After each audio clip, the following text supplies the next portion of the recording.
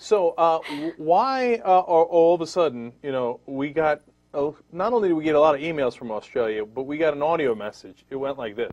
I like big butts and I cannot lie. You other brothers can't deny. And when a girl walks in with an itty bitty waist and a round thing in your face, you get sprung. Wanna pull up tough cause you notice that butt was stuck. Man, those Aussies are coming for us, man. Yeah, man. they're pretty angry. a lot of comments, a lot of emails, uh, and uh, and they say we did them wrong. right. All right, mate, just c- calm down for a second, okay? Put another shrimp on the Barbie. Oh no, You're the. I that's gonna get us in bigger trouble. I can't believe you just said that. I can't believe I said that, and it's so cliched. But anyway, so why did we get in trouble? What's happening here? Okay, there was an ad that KFC ran in Australia, and the question was, was it racist? Okay, now they say no.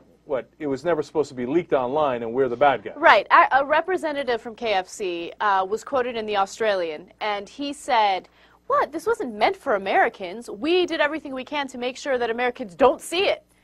Right? It was leaked on the internet. But and Americans exactly, and Americans happened to see it, and they got offended. Why didn't you want Americans to see it? Because you know it's offensive. You know that it's offensive. What do you say to that, Mr. Australia?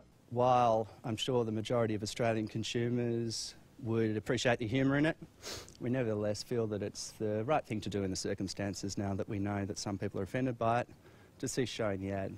This isn't about. Look, this is the number one thing. This isn't about Australia. Right. Nobody ever said that Australia uh, is racist for doing this ad. They didn't do that. KFC did. Right. And nobody said that all Australians are racist because of this ad. That's crazy talk. Okay, so just bring it down. You're at a 10 when you need to be at a two. All right, mate. Just calm down for a second, okay? Put another shrimp on the Barbie. But you have to see our perspective. That when we look at this, it seems like, at best, a clear racial stereotype from our perspective, okay? And if you don't have that perspective, and that's why you didn't see us as racist, that's fine. That's the Australian perspective. And maybe KFC then can say, hey, look, we knew that it would be racist in America, but we, that's why we ran it in Australia where it's not as racist. Right. All right, mate, just calm down for a second, okay? Put another shrimp on the Barbie. fried chicken is extremely symbolic, uh, especially when you are uh, giving fried chicken to a group of black people. So my initial reaction was obviously that it was uh, offensive and possibly racist.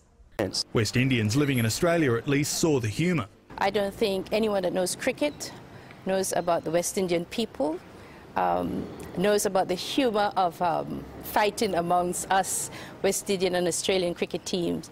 I don't think there's any racism in it. I don't care if they're from Jamaica. I don't care if they're from the West Indies. I don't care. I don't care if they're from Africa. Uh, Africa.